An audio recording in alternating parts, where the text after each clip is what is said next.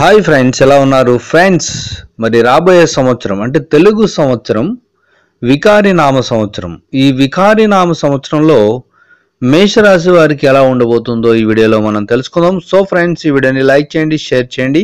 తప్పకుండా నా ఛానల్ని సబ్స్క్రైబ్ చేయండి. సబ్స్క్రైబ్ చేసుకున్నారు బెల్ ఐకాన్ క్లిక్ చేయండి.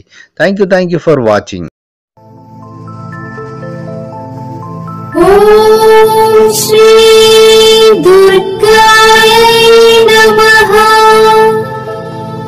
Shri వికారినామ సంవత్సరంలో మేషరాశి వారికి ఆదాయం పద్నాలుగు వ్యయం పద్నాలుగు రాజపూజ్యం మూడు అవమానం ఆరుగా ఉన్నాయి.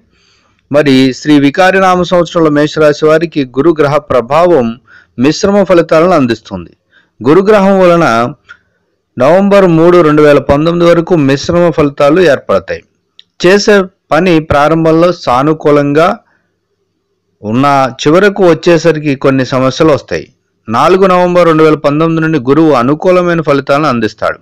ఈ రాశి వారికి సంవత్సరం ప్రారంభం నుండి చక్కటి ఆశించిన స్థాయిలో సంపాదన ఉంటుంది. అంటే మన తెలుగు సంవత్సరాది అంటే వికారనామ సంవత్సరం ఎప్పుడైతే మొదలవుతుందో అప్పటి నుంచి.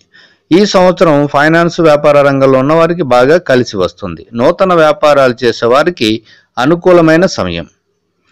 ఇక వివాహం కాని వారి వివాహ ప్రయత్నాలు ఈ సంవత్సరం తప్పక ఫలిస్తాయి. ఉద్యోగులకు మిశ్రమ ఫలితాలు ఉంటాయి శారీరక శ్రమ అధికంగా ఉంటుంది. మీరు అనుకున్న చోటికి ప్రమోషన్స్ వస్తాయి. కొత్త పరిచయాలతో జాగ్రత్తగా ఉండాలి. విద్యార్థులకు మంచి సమయం. అలాగే వ్యవసాయం చేసే వారికి కూడా మంచి అనుకూలమైన సమయం. శనిగ్రహం వలన సంవత్సరం అంతా మంచి ఫలితాలు ఏర్పడుతున్నాయి. సంవత్సరం అంతా చక్కటి ధన లాభాలు కలుగజేస్తున్నాయి.